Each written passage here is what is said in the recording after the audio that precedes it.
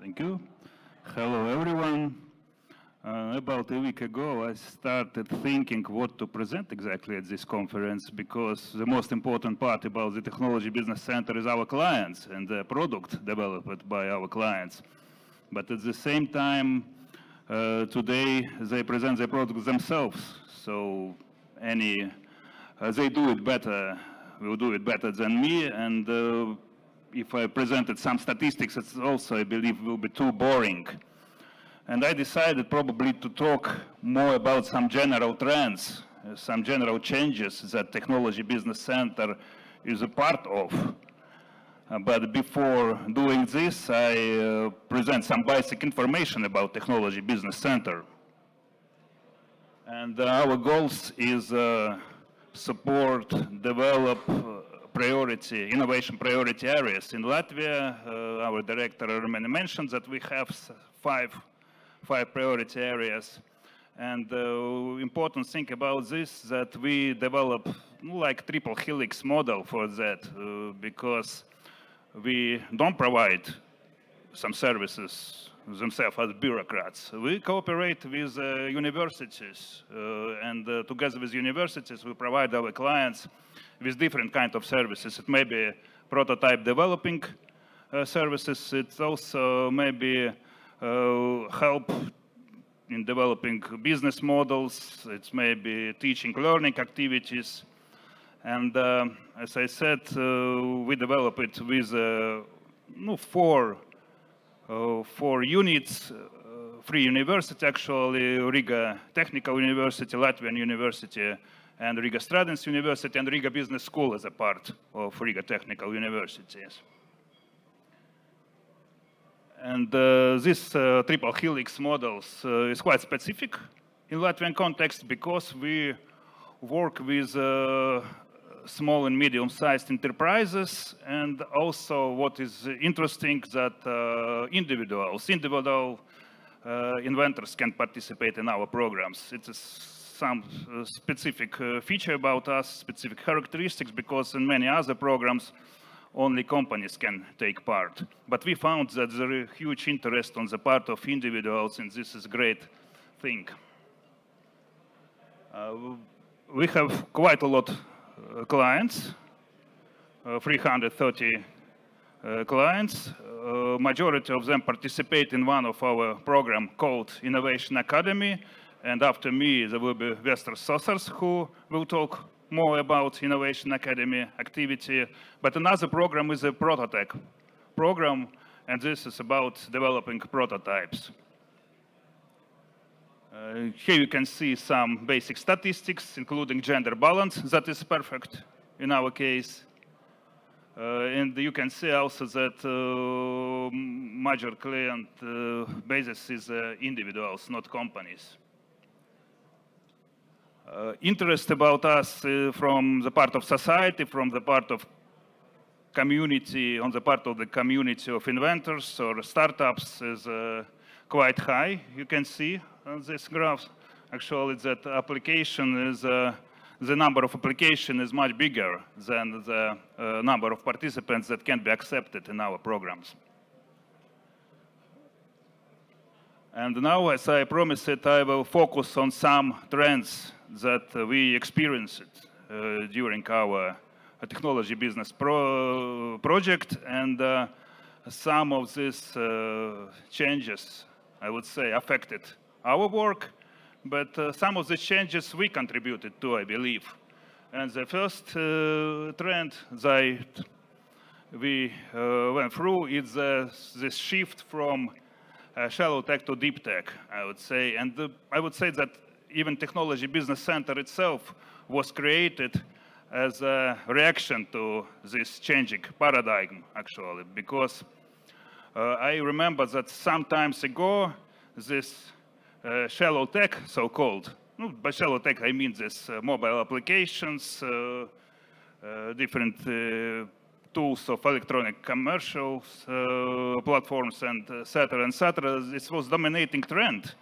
And uh, this is uh, quite clear because it was the case. Sometimes ago, many companies started to shift their uh, business models from non-digital to digital ones. And this is a digitalization trend. And in those times, this uh, uh, shallow tech was quite important, just from the point of view of digitalization of business. today, uh, this uh, priority changed, I would say, and it's clear that uh, the things that we're discussing today, let's say climate change or environmental challenges, it can be uh, how to say overcome, all the changes can be overcome by means of mobile application. We need some uh, science intensive project to do it. We cannot, uh, with a mobile application, fight uh, pandemics, viruses, diseases. Uh, we can, uh, with a mobile application, build smart cities or try to solve some energy efficiency solutions, etc., etc., etc. And for this uh, reason, this trend is evident. Today, everyone talk about this uh, deep tech, and deep tech uh, also is, this conference is focused on this, and uh, we are part of that. Uh, our clients uh, mostly represent this deep tech approaches. Another trend is that it's uh, related to sustainability because uh, concept of sustainability uh, have changed as well. I remember the times that there's still no clarity what does it mean by sustainability. The majority of people think that it's something related to environmental problem, but at the very beginning, I remember that there was just requirement not to think only in terms of market that we should evaluate as bureaucrats projects, not only taking consideration and say market potential, um, uh, but we have to take into consideration how this project uh, no, relates to environmental challenges, for example. Uh, today, uh, sustainability approach include uh, increasingly some social things as well. No, for example, we can mention here ethics of artificial intelligence, for example, or relationship between uh, democracy and technology. This is also one of the trend of today, but even uh, more recent trend, it is uh, uh admitting that uh, it is not, not enough to save democracy, actually. It is, uh, we should save our civilization, actually. And this is um, related to the acknowledgement that uh, sometimes uh, we uh, cannot solve human problems in human terms, actually. We should uh, somehow start to think about the sustainability from the point of view of uh, non-human living living systems, for example, includes the whole biosphere. And uh, the most recent trend, I would say, related with the space, uh, the space sustainability. Uh, a year ago, approximately, uh, no one, uh, no, I, it was really rare that some of LIAA clients, uh, of our agency clients, talked about space sustainability, but now it is the case. Uh, people included in their application uh, some things related to this uh, space sustainability because it is clear that the future uh, belong to this dimension and uh, after a while we will be uh, living like interplanetary, multiplanetary spaces and we should think about how to overcome this also space debris and all other challenges related exactly uh, to the uh, space economy, lunar economy, and uh, such kind of things. Uh, next trend uh, is uh, knowledge innovation democratization. It is really a story about technology business center. As I said, we don't work only with companies. We work with individual persons, and our majority of our clients is sole inventors and they uh, don't even need a company to participate in our program. And uh, interest is high on their part.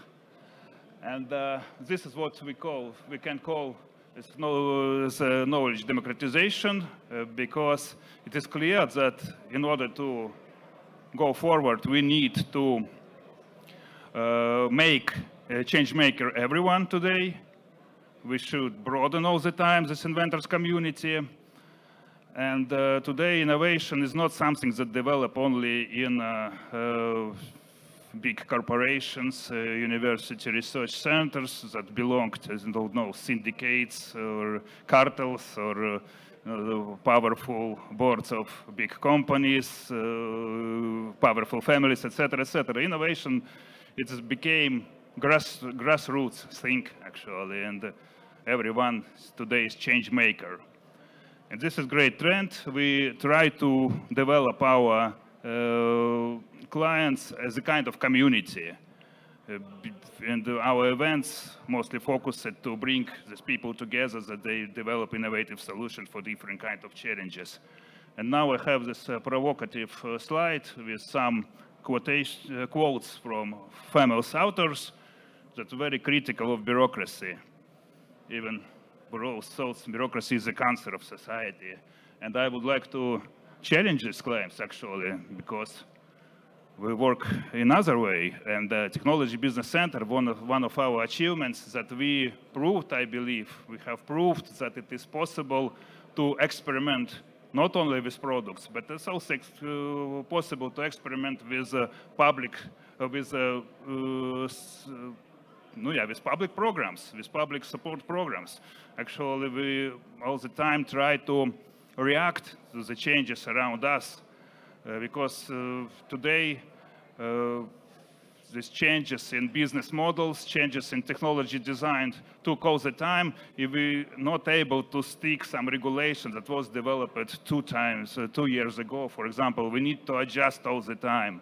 And I believe the Technology Center proved that it is possible because we changed uh, our evaluation criteria throughout uh, over the last year. We changed uh, some procedures in order to make uh, our approach uh, friendly to our clients. We changed our, even our governance models in many, in many ways because it is important to uh, think about the future in terms of forecasting what will be the next trend because the next trend uh, is already here and will be in the uh, field of space, it will be in the field of uh, brain-computer interfaces, uh, brain simulation interfaces will be gene editing and all this uh, challenging stuff that we need to forecast already, try to prepare our bureaucratic basis for all this time. And uh, I believe that we're quite uh, successful in this area. And uh, after, no, yeah, after my speech, there should be uh, short video, as far as I know. It repeats some of the things that I already presented here, but also it will show some pictures of our clients. So thank you for your attention and let's do good things together.